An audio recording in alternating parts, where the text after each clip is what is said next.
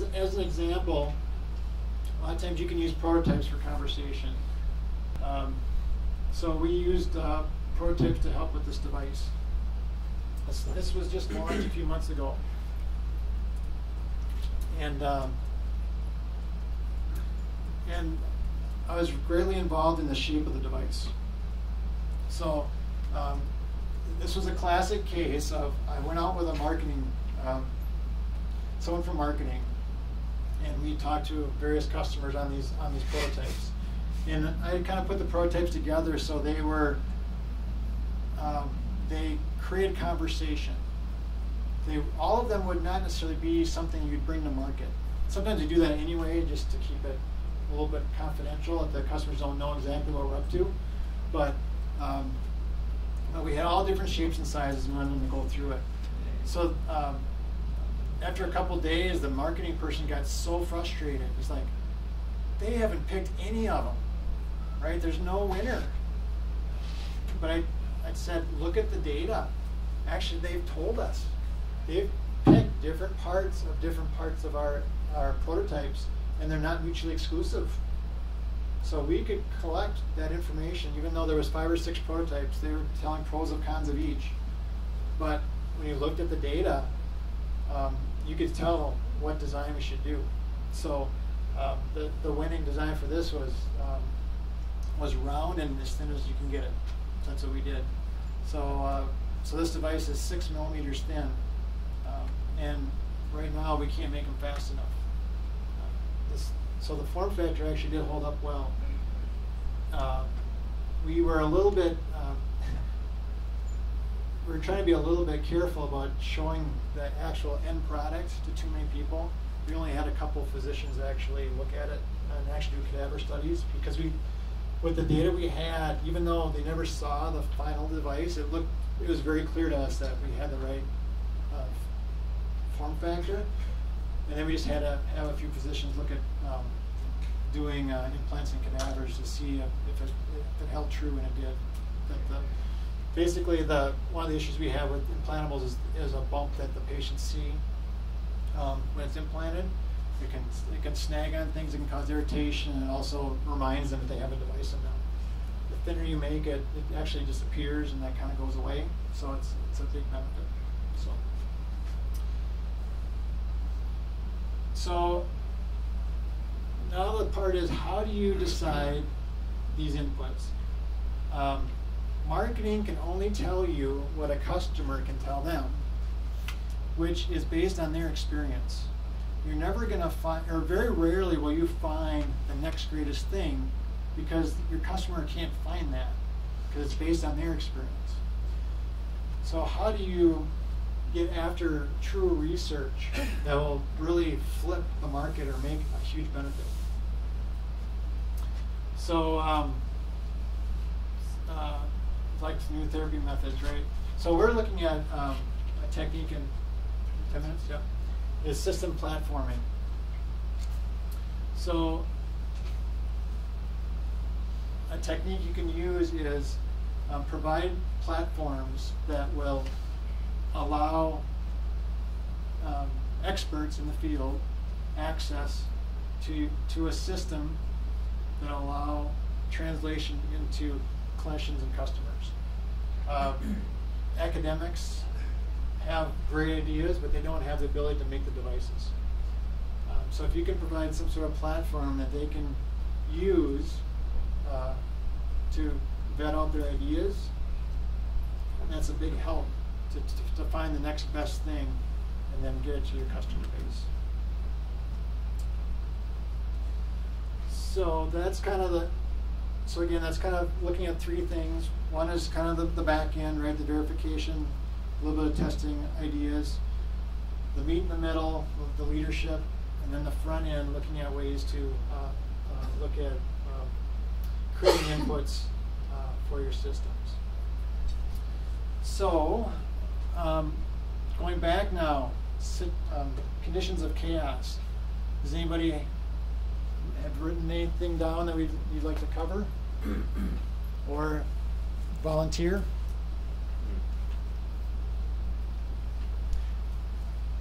You guys must be much luckier than me that you haven't run into any.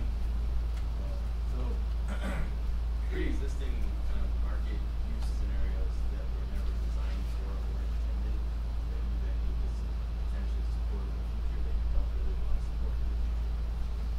Okay, so if I get this right, you have a product out there, and now they've got the they've got an idea of how they'd like to use it, but it's not it wasn't really designed for that. Yeah, so um, so when we I've run into that a few times. So what we what we've done is um, we had to do a system analysis of can can the product that we have actually support what they think they want, um, and just and just look at the data and, and have them walk through what that might look like. Um, and then it's it's basically a lot of those changes are time and money. You might know right up front this is going to take so much time so much money to make that change. It's not going to be worth it. But you really need to just spell it out for them and not, not, not say, oh, that's terrible. Say, okay, we'll look at it and then show them the data. Um, sometimes that, that, will that will spark something like, okay, that's too much. What can we do with this little bit? Um, does that add value to the patient or to your customer base? So, yeah, that does happen a lot. Some systems now are uh, uh, are designed to be upgradable. So that's another um, concept. Also with uh, devices, I don't know if um, another thing to look for is how you get data out of the devices to help um, understand them better, um, like core dumps of, them, of everything that had happened to them, and uh, and how you can collect data for clinical studies. A lot of times that isn't thought of as well as it should be at the very beginning because you don't know if you're going to run a clinical, but uh, have the hooks in place so that you can obtain as much data as possible so, so that when clinical um, wants to do a study, it's much easier for them to collect the data. Because if we can electronically collect it, uh, it's much more robust than, than forms. So, In precision and medical device companies that are startups having to deal with all the, you know, bring up to, to speed, adjusting their documentation to your quality system. It's kind of like going backward. You used the example of the fish going up the waterfall. Sometimes I feel like I'm going, doing reverse engineering all the way back to the beginning, trying to figure out how, was it done. That's, that's the, that's the real thing. so, so there's um. So you're thinking about it as, as a small company trying to look at how, No, when you acquire, or you get acquired. when you, well, no, when you Or, acquire. or when you acquire one. Yep. Yep. And then it's already made, Yep. now you absorb. Exactly. Yep. Yeah, so as, as my role, I, I do uh, look at companies as well and do that assessment. It's, uh, yeah, because you'll see a, a variety of quality systems, and it's, uh, uh, you, you have to assess it because that's usually the thing that uh, the businesses don't account for is how much work there is actually in getting a, reworking a quality system. And um, Medtronic had examples of where we've had to completely rewrite quality systems on companies we've acquired, and, and it actually showed up that we'd have to uh, change some of the design in the product because uh, there's there's times where uh, a smaller company will design it in a way that just cannot be upscaled. You just cannot make a hundred thousand of them. It's just there's too much handwork in it. So um, so that's uh, something to look at too. But uh, yeah, there's- there's not an easy path for that, but uh, uh, but it's it is a critical assessment, and sometimes it does get missed of all the work there is in the quality system. Hmm. Anything else? So uh, there is this challenge that uh, in an organization when you have systems engineers and design engineers, uh, I'm talking, I'm referring to the item of communicating uh, in the team. Uh, how do you make make a bridge between the design engineers and systems engineers uh, when system engineers actually do not own anything. Have only have they play a role of facilitators most of the time. No, that's exactly right. So, so I, when I, in all my system engineering roles, I assumed I never had any power. That's kind of true, right?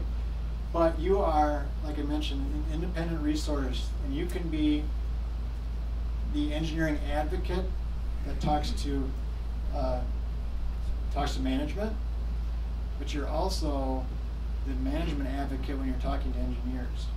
You're the go-between, and that's a powerful position. Even though you don't have any technical power, you don't have a stick necessarily, but with rationale, you can you can drive that bridge appropriately. Um, uh, and it, it gets back to some of those leadership comments. Uh, data-driven decisions. Just, I, that's, and then you help them bridge that using that method.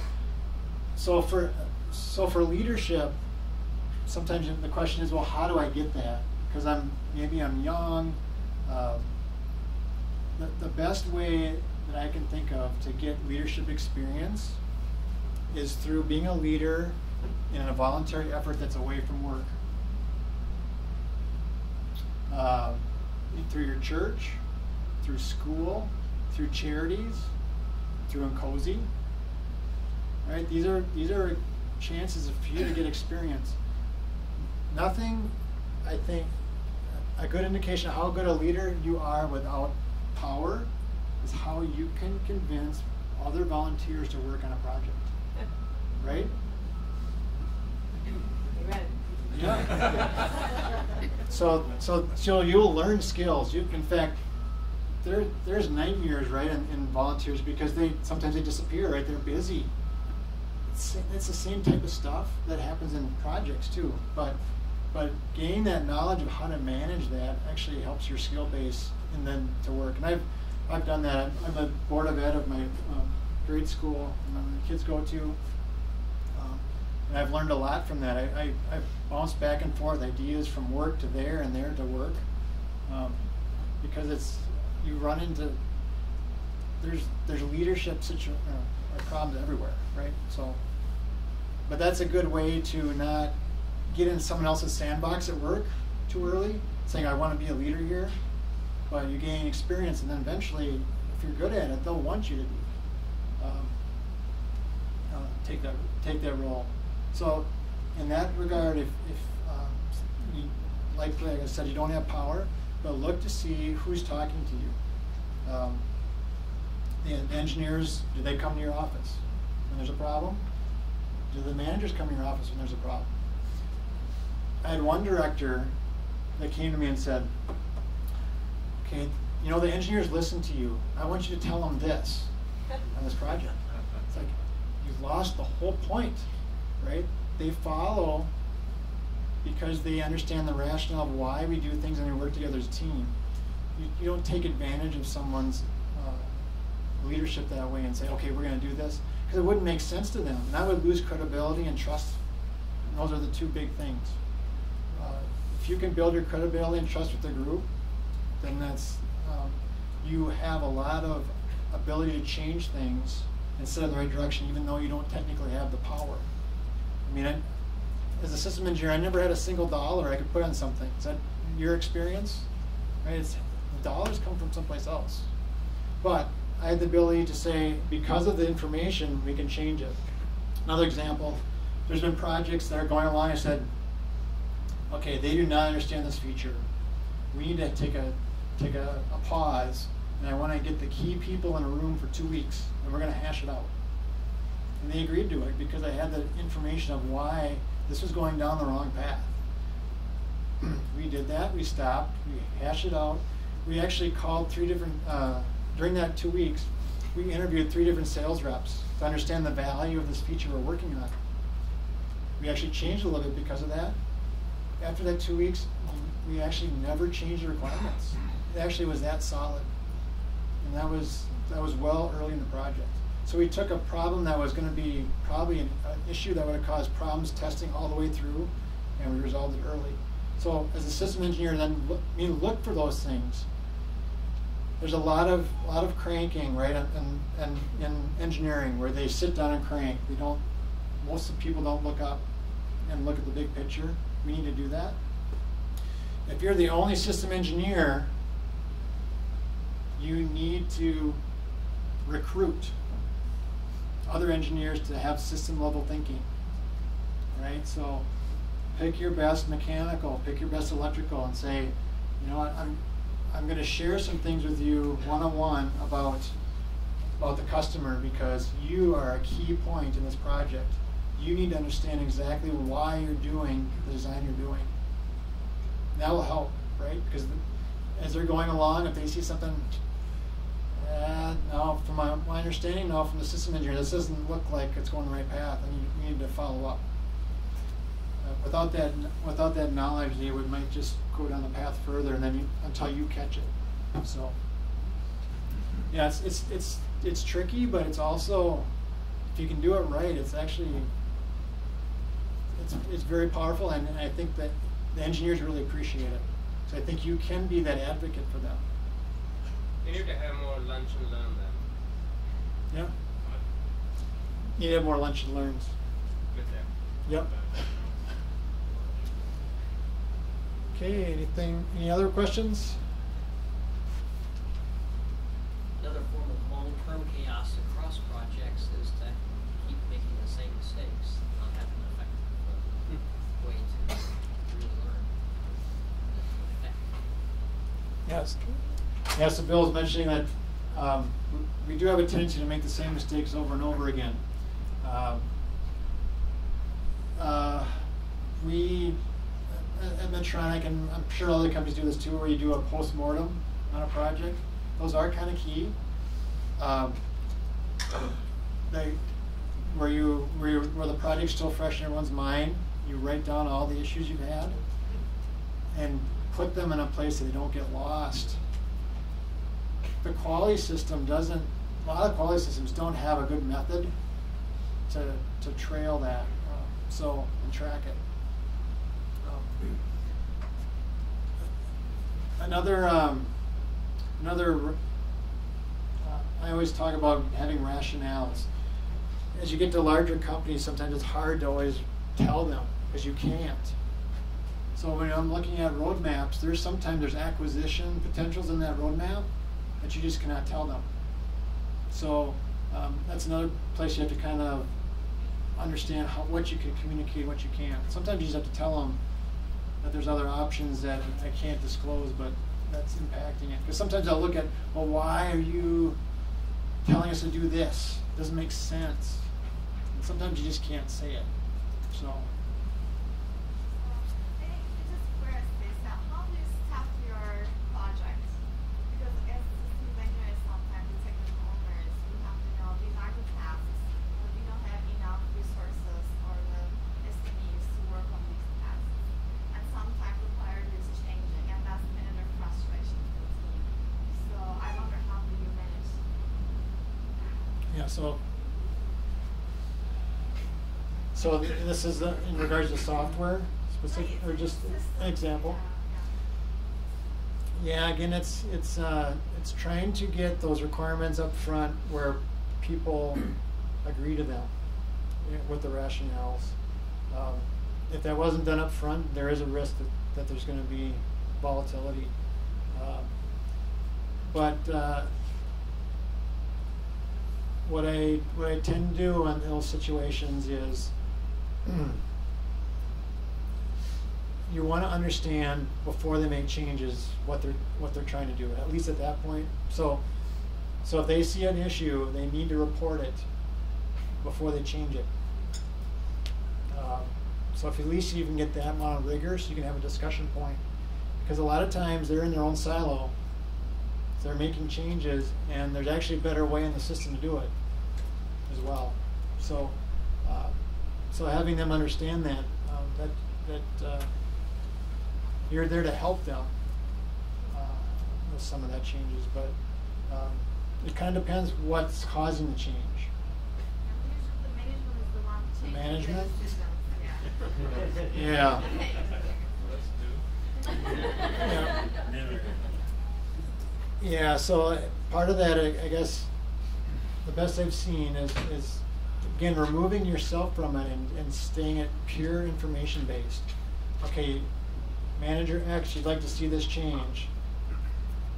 We need to spend two days or X days on it to see what the implications are, because we don't want to waste your money. Uh, we want to do this the best we can. So give us a couple days to look at it or you know decide how big a problem it is, how, how long you need, because they should. I mean, it makes sense to allow people to think, right? So uh, try to get it worked that way. Now a lot of times it will. Sometimes they'll decide, ah, it's not worth it. So. Okay. Anything else? Well, I appreciate it. I'm, I'm around there around the rest of the day too, and um, I've I've been the, the sessions yesterday. I thought were fantastic. There's a lot we can learn vertically, right? There, um, especially like agile um, and some of the security. Um, hopefully, this handles another type of security, job security. Um, if we do our jobs right, um, you know, we've come from a lot of different companies, but in essence, we need to have system engineering work well, right? It doesn't matter what company we're from. Um, we, we help each other out. If we all design and release quality products, it helps the industry. If any one of us falters, it hurts all of us, right? So that's, that's why INCOSE I think is very uh, important that we, we share our knowledge and help each other, um, but create great products because the winner is the patient. As long as we keep that focus on who we're really making these products for, the rest will figure itself out. But if we really have something we're, we're solving a need that the patient really has, that's, that's just gonna, that, that helps, right? That, that helps the world. It's not just our projects. Thank you for your time. Well, a couple things. You asked questions again. One question at the end about chaos. Is there any question or comment people had about the rest of your slides? We have some time here. Uh, one comment I had is your n squared matrix, or you maybe have just the interaction matrix. There is a course I don't know if people are aware of from MIT, fourth, fourth semesters. It's like it's a month each, so like four months on systems design, MBSE, and they introduced a design structure matrix. It's an n-square diagram. And you were making it the orthogonal. They had a very way of doing pivot matrices and exactly saying up front, you make your DSM as orthogonal as you can. That if people aren't aware of that course, it's gotten very fairly good reviews outside of GE, within GE. Some businesses like it, some thought it was okay. Everybody thought it was at least okay to good. That is an interesting uh, you know, online resource if you want to learn more about model-based, and like one of them has a DSM section. Does anybody else have any questions on uh, any part, other part of Nate's talk? So I just had a question, you know, Medtronic is a very well-established company. It's got system engineering, you know, you said they've been doing it for a long time. In a lot of other companies, the SE is a shared resource. Last one on the team, first one off the team. And uh, how do you, particularly um, with the uh, getting to the customers, getting connected to the customer, how do you get a seat at that table? when you don't maybe have that formal structure or that formal. Okay, so the question is how do you get a, a seat at the table to, to have access to the customers? Um, so how I did it was was the, on the back end. As I mentioned, I, I had designed a product, and then because they I, I was the expert in the product, I was able to, to help train the sales force. So so part of my job, I was actually being able to talk with them about the next products. Um, so that was my access in that in that way.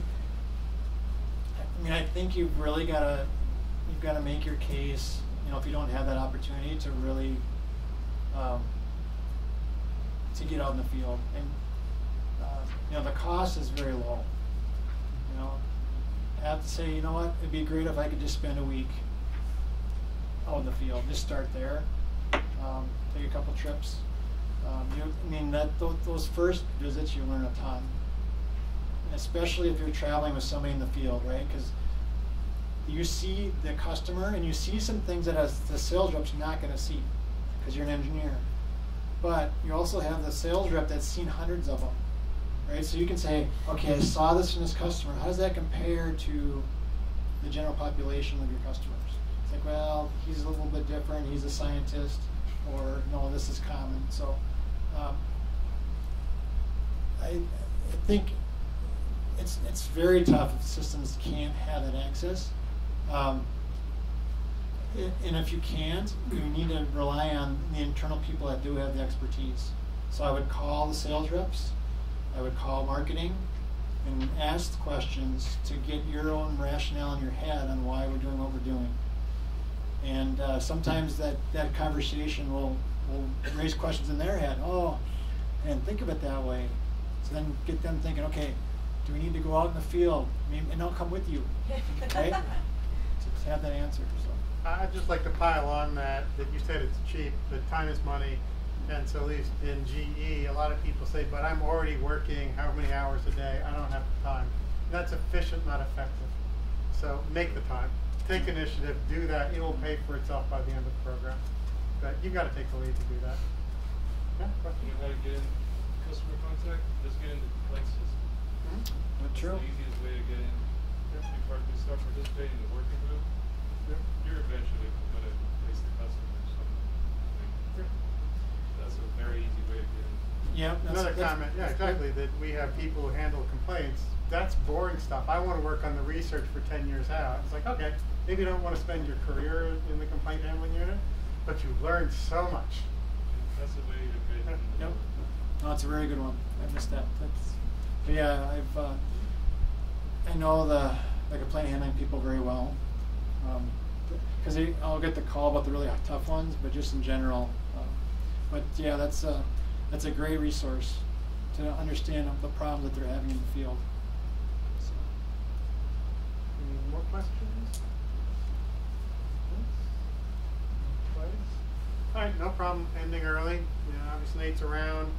Uh, just a potential change. Uh, Steve? Yeah. Steve has an offer for a third track up in the Concord room.